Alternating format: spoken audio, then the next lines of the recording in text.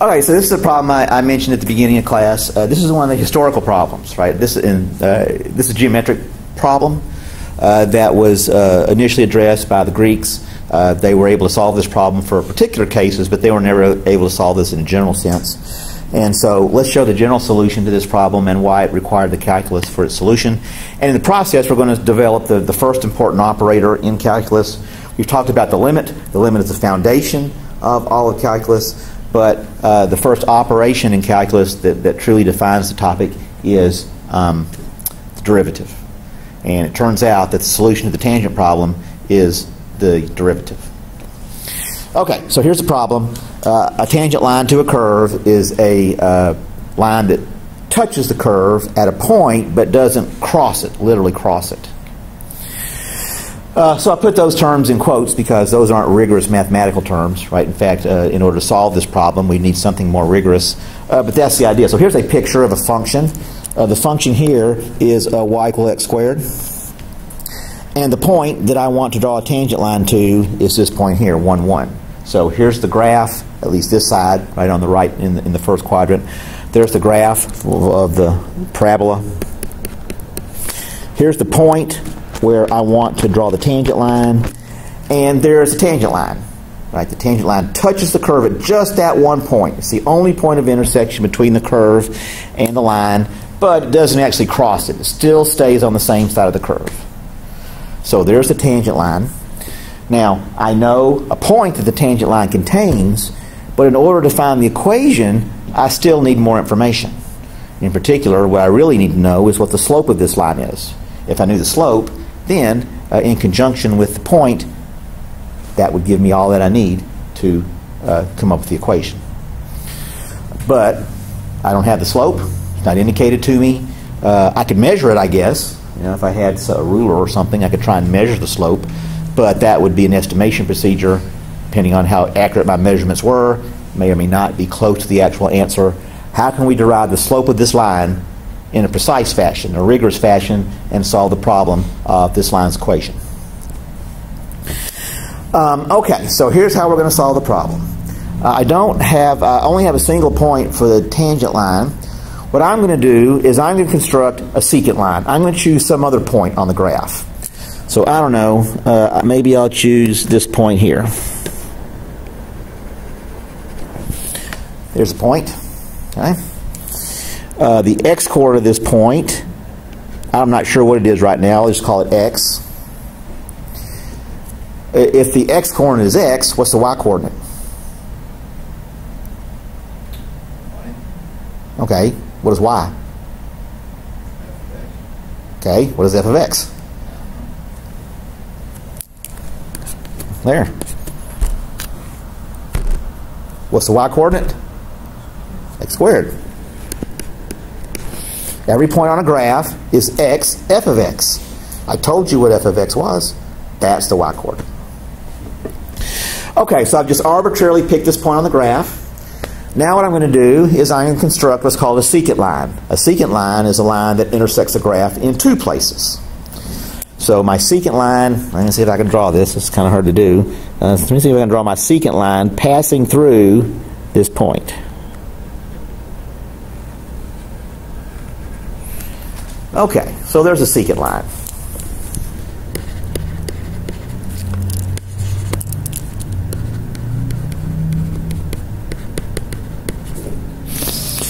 Um, now, please notice that the secant line does not have the same slope as the tangent line that deviates. Uh, but I can, can compute that. I can compute the slope of the secant line. Uh, I'm going to call that m sec, m sub sec. How do I compute the slope of a line?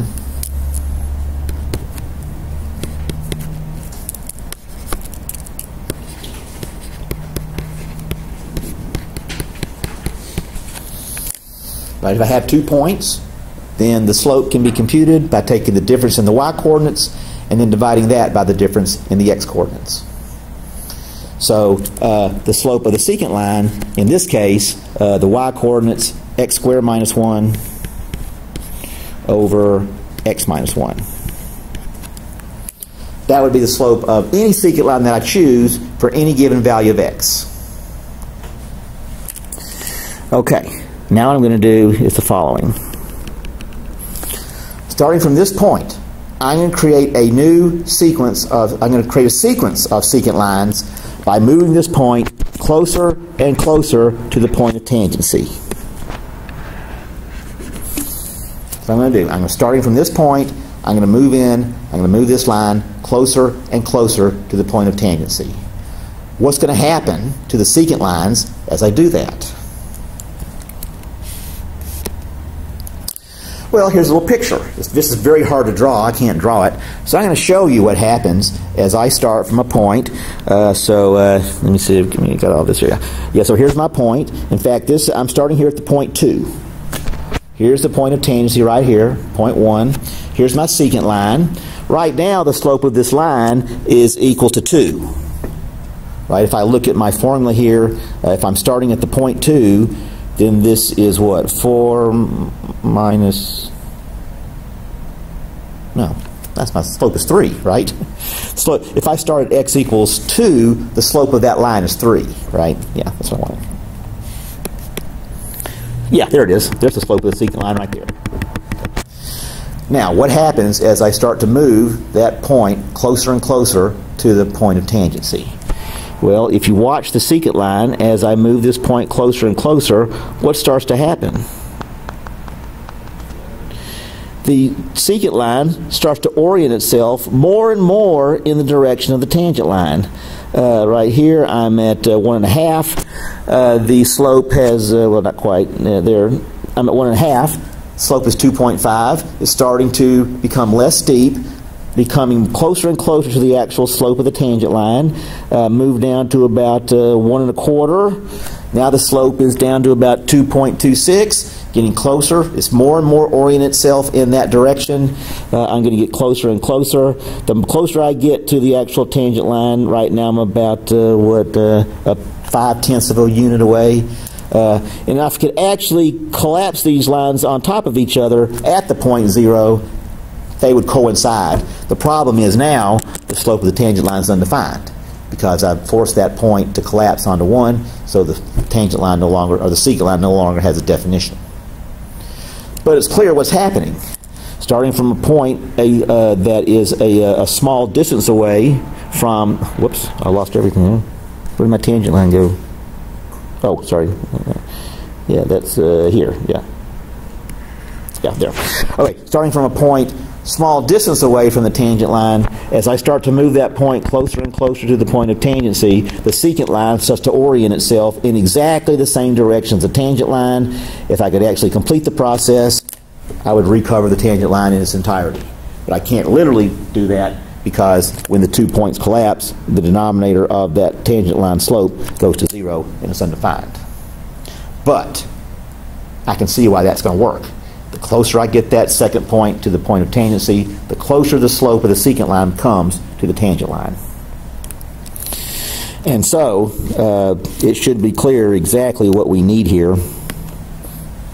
I need the limit process. What I'm doing is I'm applying the limit process to this expression. If I actually want to compute the slope of the tangent line, what I'm really doing is this. I'm taking the limit as x approaches 1. I'm starting from a short distance away, and I'm moving closer and closer to the point where x is 1. That is the process through which the secant line's slope can be recovered. And now, uh, it turns out, and again, if I look at my diagram here, it turns out the actual slope of the tangent line uh, is, uh, oops, don't have this quite right. Yeah, the actual slope of the tangent line is 2. That's what the solution to this problem turns out to be. Uh, and again, uh, if I just look at, even if I didn't have uh, the graphic property, uh, if I look at this valuation here, like this valuation here, where I watch this, uh, this process of approaching the point, the closer I get to the point of tangency, the closer the value of the slope gets to 2, which is exactly the sort of behavior we would expect if the limit was actually going to exist. And uh, same from the other side. If I start over here on this side, right now uh, the slope of the tangent line is is uh, smaller than the slope of uh, sorry the secant is smaller than the tangent line slope. In the previous case, it was larger, but same principle, right? The closer I get to zero, the more and more the, the secant line orients itself in the direction of the tangent line. And the whole process breaks down at the point of tangency, but the limit can be established. Okay, so that's why we had to wait for the calculus to solve this problem, because the actual solution of the tangent problem is this uh, limit process being applied to this progression of secant lines. Okay, so uh, we can solve this problem by taking limits, and uh, we've already uh, seen a couple of ways that can be done. Here's one way this can be done. Here's a table of values, very similar to uh, the table of values that we use to solve limits in the general sense. Now, this isn't a simple limit of a function now, right? It's not the function that I'm applying the limit to. Right? The function I'm looking at in this case is the function x squared.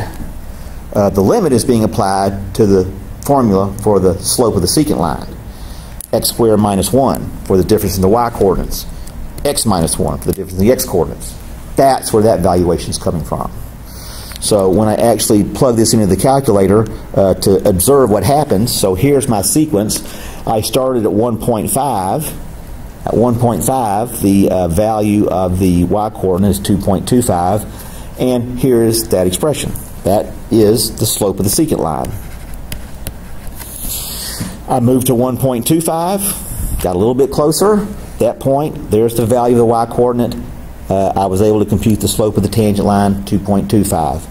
I moved within a tenth of a unit, 1.1, where the, tangent, where the uh, y coordinate is 1.2 on the square. Uh, at that point, I was able to compute the slope as 2.1. And closing in even closer, 1.01, a hundredth of a unit, I get down to 2.01. If I observe the sequence of this progression, it becomes clear that the closer uh, the point gets to the point of tangency, the closer the value of the slope gets to 2. So from this observation here, I conclude that the limit as x approaches 1 of that formula for the secant line turns out to be about 2. That is the way I'm going to interpret the slope of the tangent line.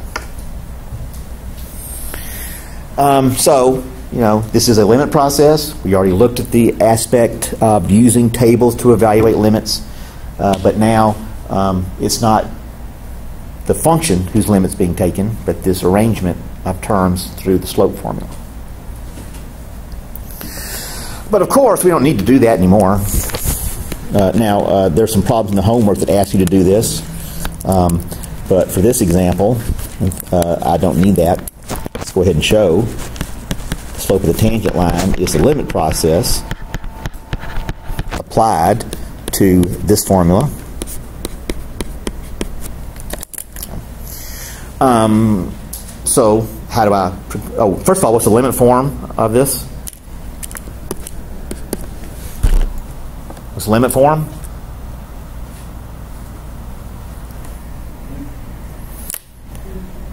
It's indeterminate, right? If I do direct substitution, one for the numerator, one for the denominator. So this is indeterminate.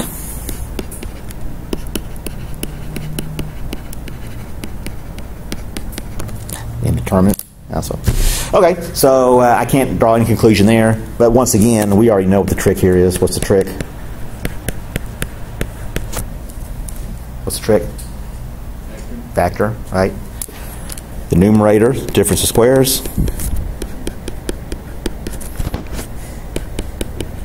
And then the usual thing.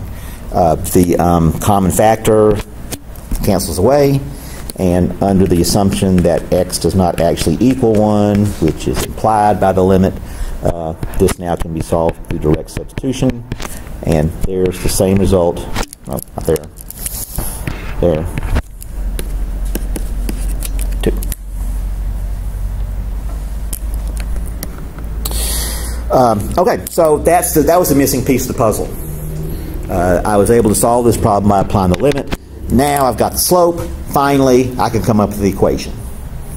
So uh, the equation of the tangent line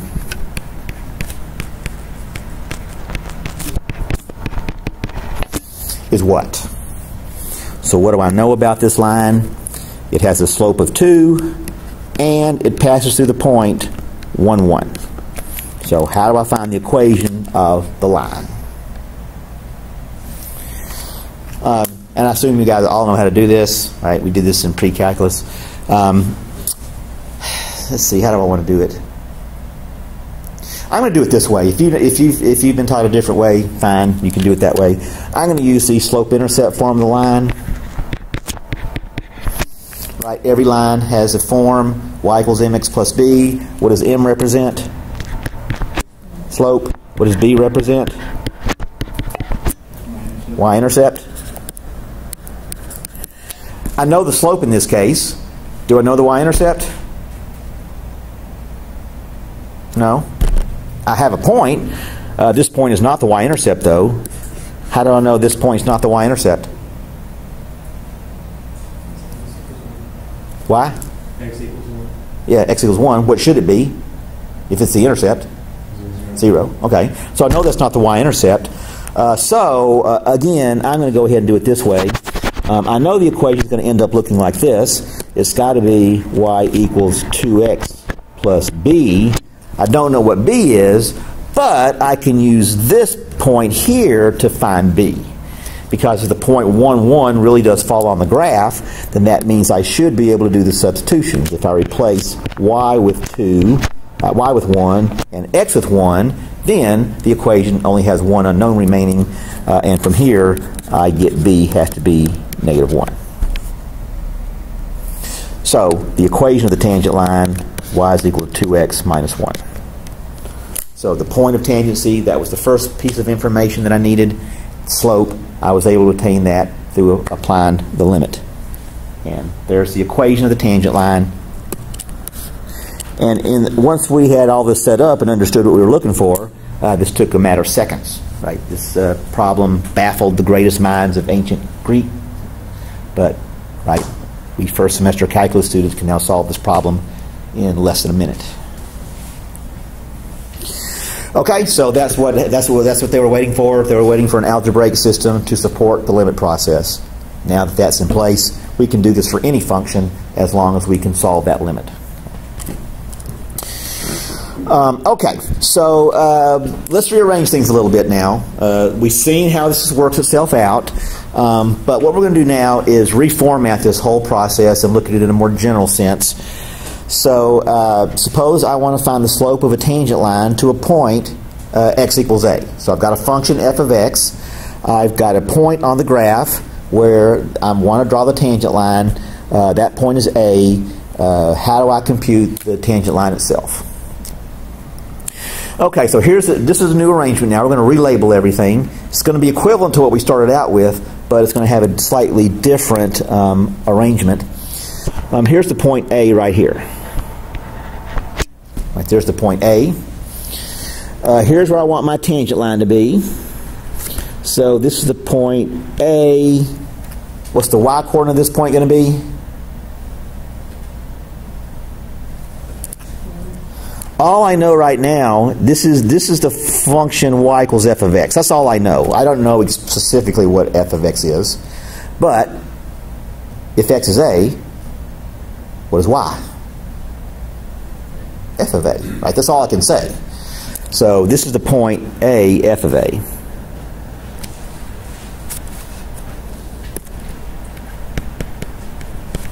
Okay?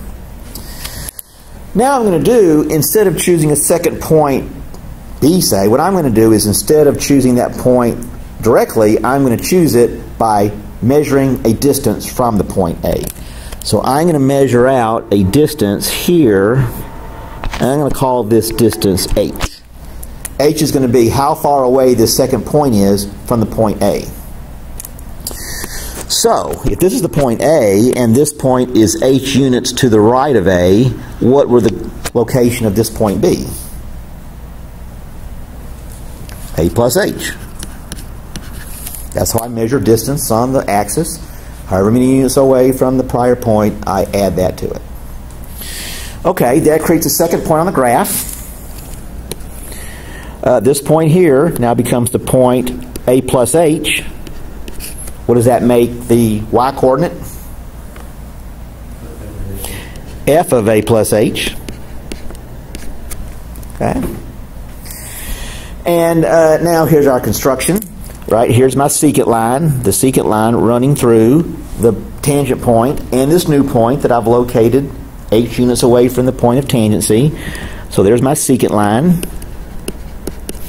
There's my tangent line. Okay? And now the slope formula, right?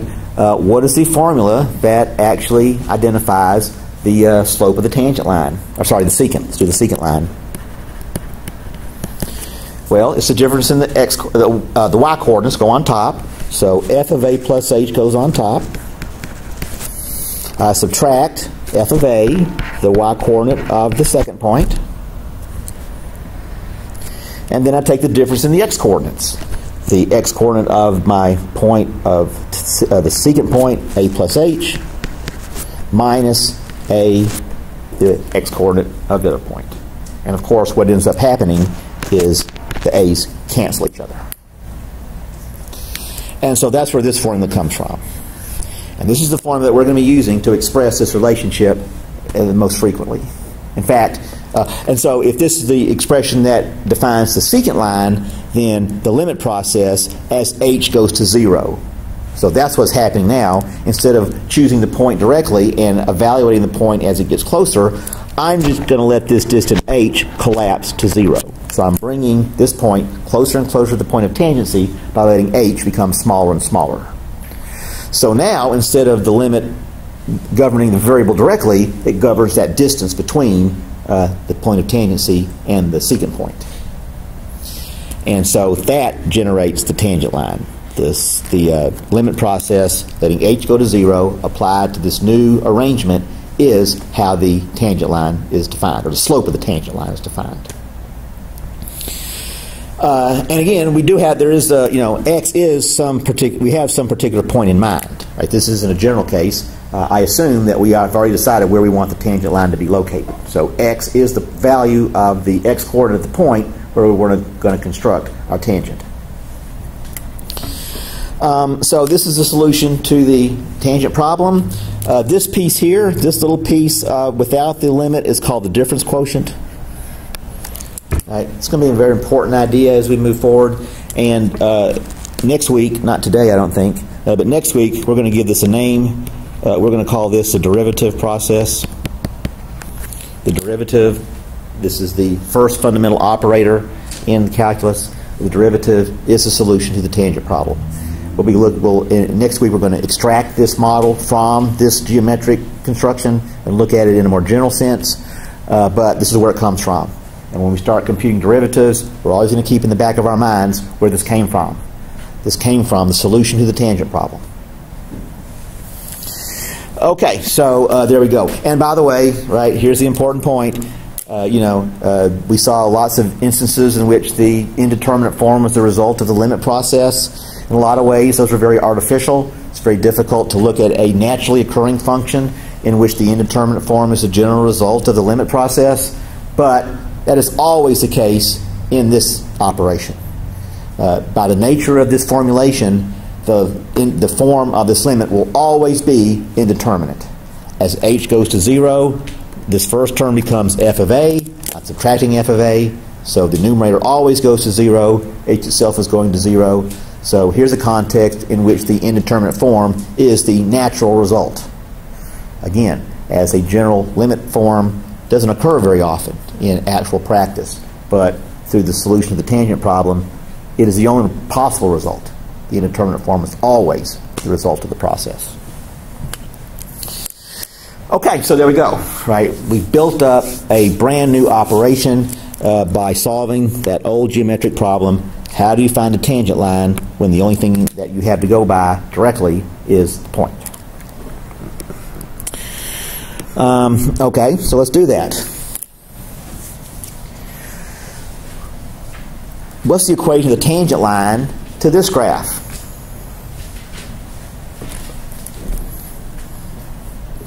Um, well, first of all, let's go ahead and draw a picture. Right, let's go ahead and draw the picture. Um, what kind of graph is this? It's a line, okay? Um, how do I draw this line? how do I draw it? Where do I start? 0, 1, start the intercept. And how do I get to the next point? Yeah, so the slope is 2. So, uh, so again, I'm referring back to that slope-intercept form. Uh, 2 is the slope, and 1 is, or at least is the uh, y-coordinate of the y-intercept. So uh, up 2 over 1, uh, so there's my slope. So the actual line itself, I guess, would look like this. There's a graph of this. Uh, the point 25. Uh, I'm not sure where that is. Uh, I guess uh, here's the point where x is 2, so this must be the point 25. And now this is kind of now there's a, there's an issue here. What is a tangent line to this point going to look like? We said earlier the tangent line was a line that touched the graph at a point but didn't actually pass through it only touch the graph at the one point. What is that going to look like in this case? I mean, is it even possible? It's the line itself. But that violates another condition that the tangent point of tangency was the only point where the graph touched. Uh, and this was a, there's a philosophical issue here about what exactly the tangent line is. Uh, now, fortunately, when we gave our intuitive description here, uh, we didn't actually require that that point be unique. Uh, but this was a real stumbling block for the Greeks because they understood that. That for a straight line, there is no true tangent point in the sense that it only touches the line at one place. The line that we're talking about that satisfies the conditions of tangency would actually be the actual line itself. Um, but that's not an issue anymore because we can solve that problem directly by applying the limit process to this, to this particular example. Um, so let's do it.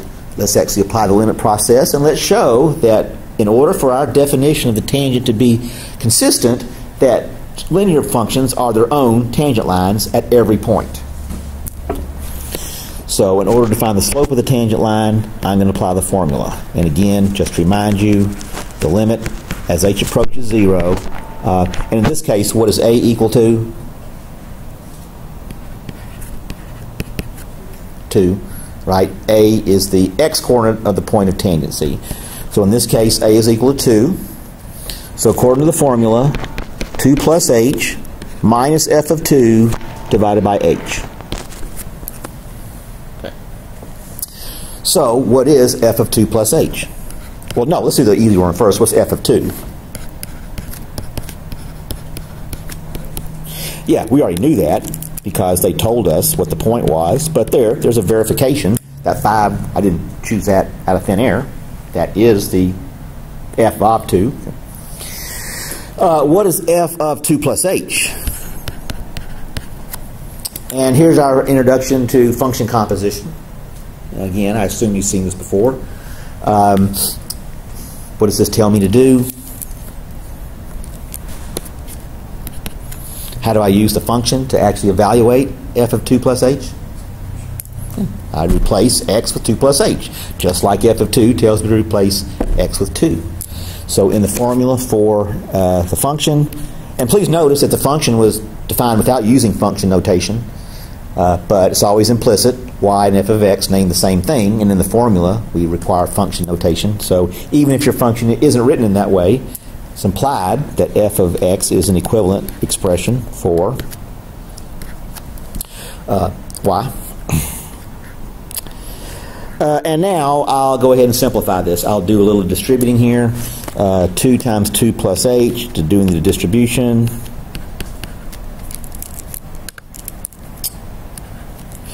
4 plus 2h plus 1, and finally the 4 and the 1 combine.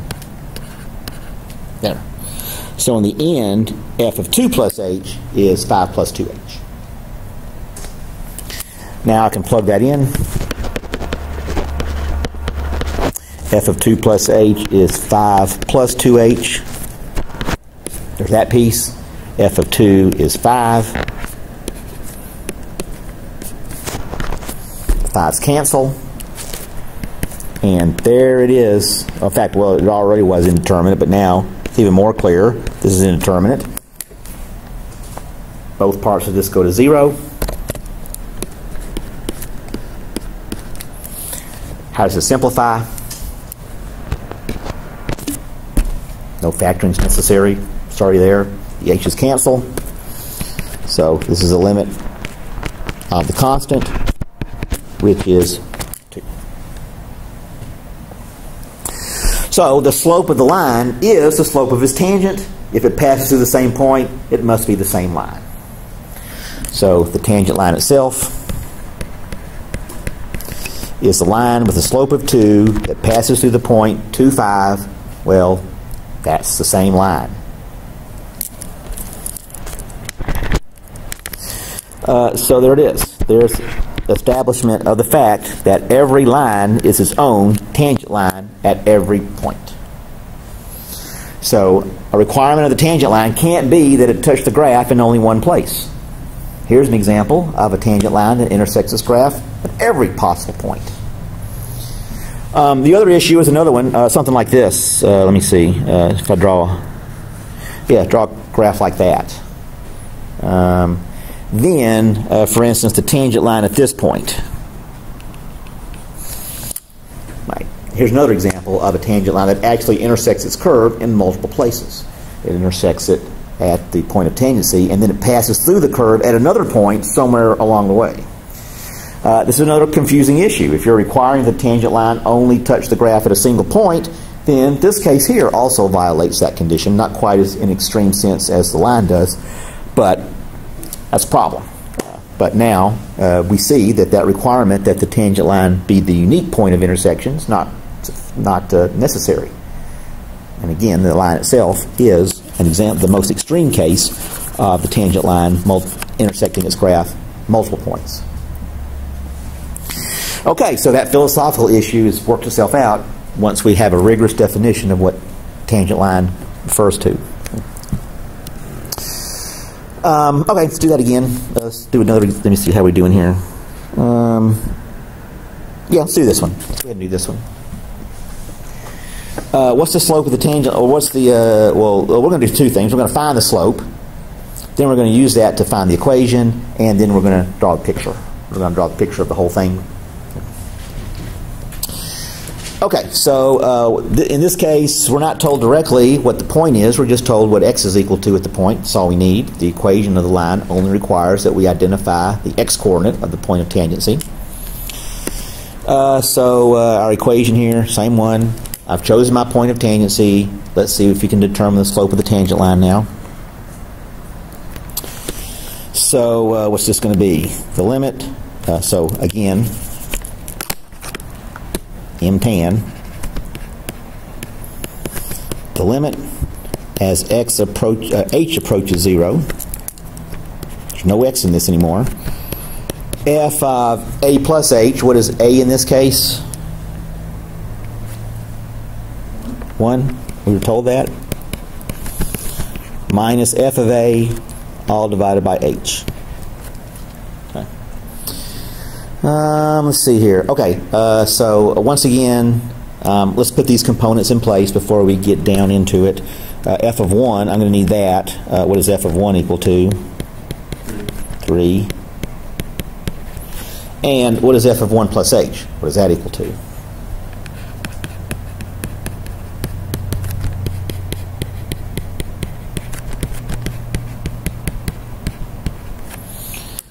Okay, so there is the, what's intended. So uh, I'm going to have to work all. I'm going to have to expand that out, get everything all like terms together wherever possible. See if I can simplify this. So let's see. What do we get when we work all of this out? Uh, 4 plus 4h minus the square of 1 plus h. What's the square of 1 plus h?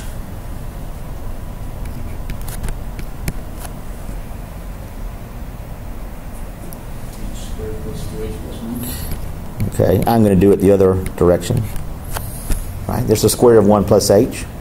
Um, that's a FOIL problem. Don't forget, squaring the binomial, that's a FOIL problem. 1 plus h times itself. And now the, the square quantity is being subtracted, so there's still a distribution that has to be completed.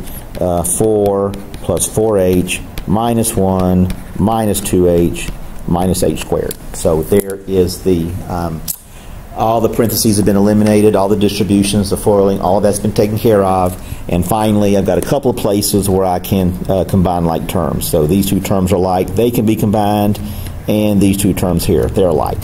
So in the end, uh, what does this end up being? Um, 3 plus 2h minus h squared. Is that right?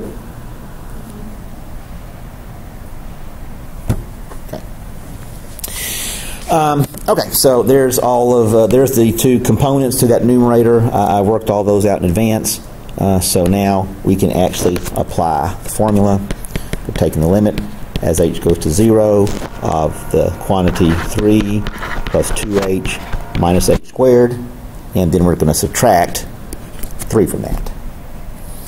So here's the f of 1 plus h, and here's the f of 1. And all of that over 0. And of course, and this is always going to happen whenever you're applying this definition directly, uh, what I see, the constant terms cancel away, and all I have remaining are terms that all involve factors of h. So at this point, got the limit as h approaches 0 of what? 2h minus h squared over 8. And, uh, you know, as usual, this turns out to be indeterminate, but once again, the simplification here is pretty straightforward. All terms involve that denominator as a factor, so all that cancellation takes care of itself. This h here cancels one factor of h here, one factor of h here. And so what do I have left? 2 minus h. So what's the slope of the tangent line? 2. At this point, I can do the direct substitution, and there's my tangent. Okay, so there we go.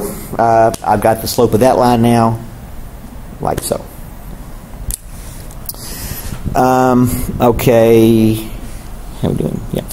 Now let's go ahead and finish this. Uh, next step. What is the equation of the tangent line?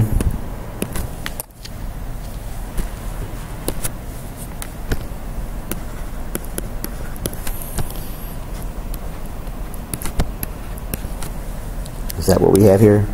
Yeah. So I've got the slope being 2, and I've got the point 1, 3. So just like before, I'm going to go ahead and do this straight through the slope-intercept form. I know that the line has to have this form. Uh, I don't know what b is, but I do have valuations for uh, x and y. So if I let y be 3, and if I let x be 1, then I can solve for b. So uh, B has to be 1. Oh man, it's the same line. It's weird. So the tangent line is the same one we got in the previous case. Hmm, didn't mean for that to happen. Know, 2x plus 1. Okay, let's draw the picture. What does this look like?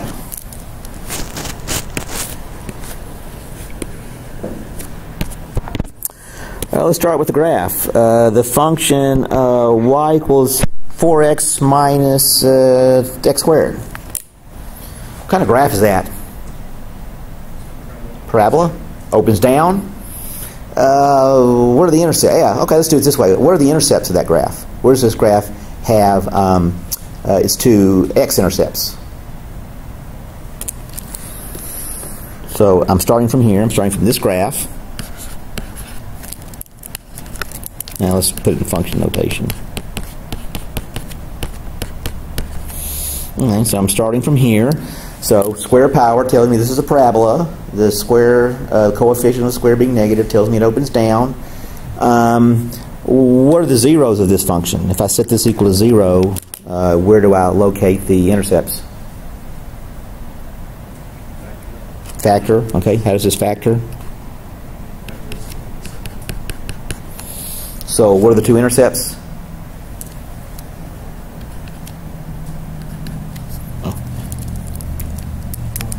Four and zero. So one intercept would be here, one intercept would be here, right here in the middle. Because of the symmetry of the parabola, this graph uh, must have its vertex right in between these two, uh, so it must look something like this. Something like that. Uh, I don't know. I didn't didn't really preserve the symmetry here. Okay, something like that.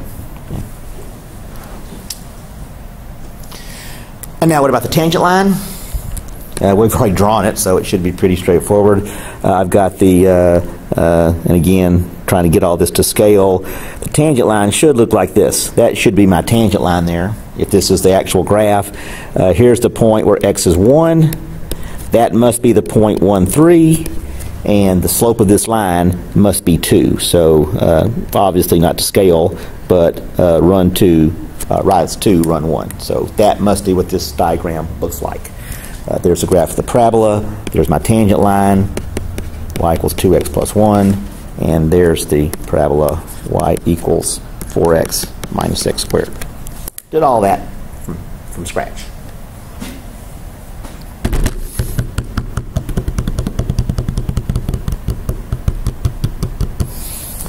Um, let's try one more of these.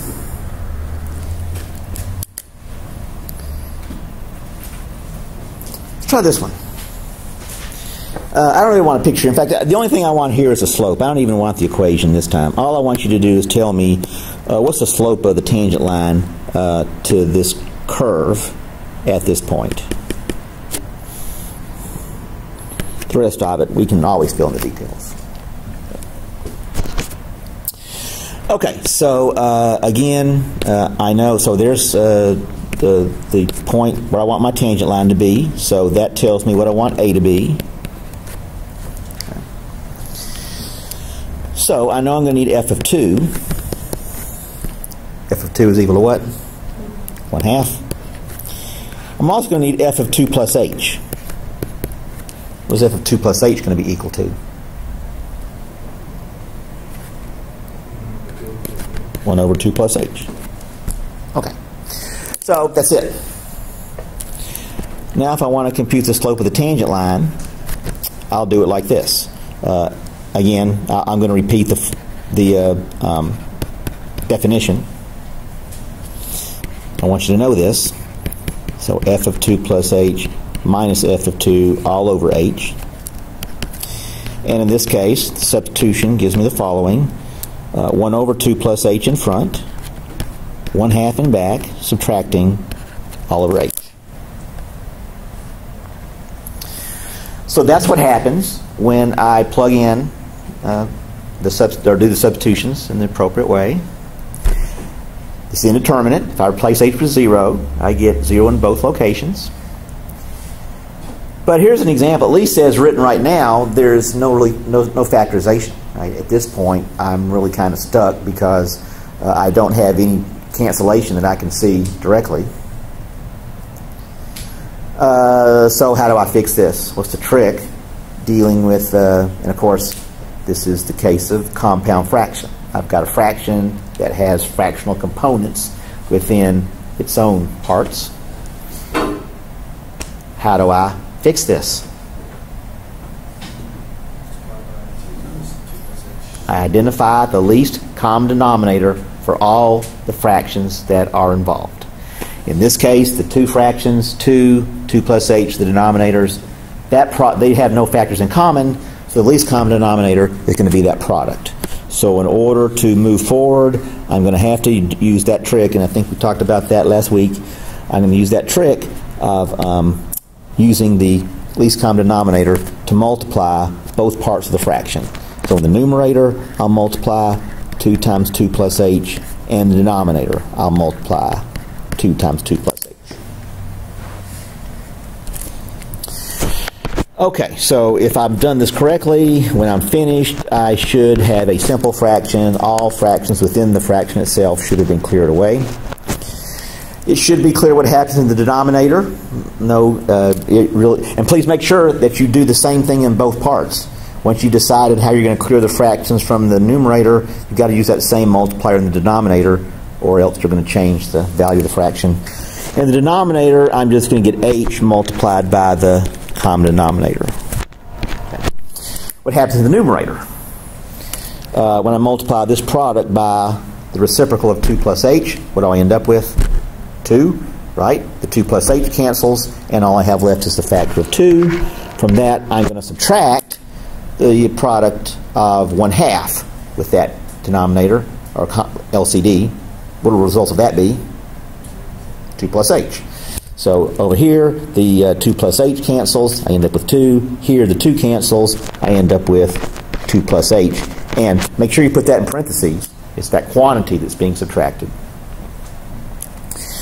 Uh, and now, again, now I can see why that is going to be helpful because now that constant term is going to cancel away. What, what remains in the numerator? Negative h, so that eight, that negative from the subtraction still remains, and downstairs in the denominator, I've still got uh, that product sitting, waiting to see what happens. What happens that common zero factor cancels away.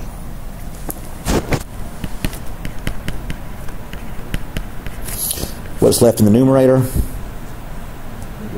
Negative 1. In the denominator. And finally, now I can finish this. The 0 can go in place of the h. This is no longer indeterminate. So what's the slope going to end up being? negative one fourth.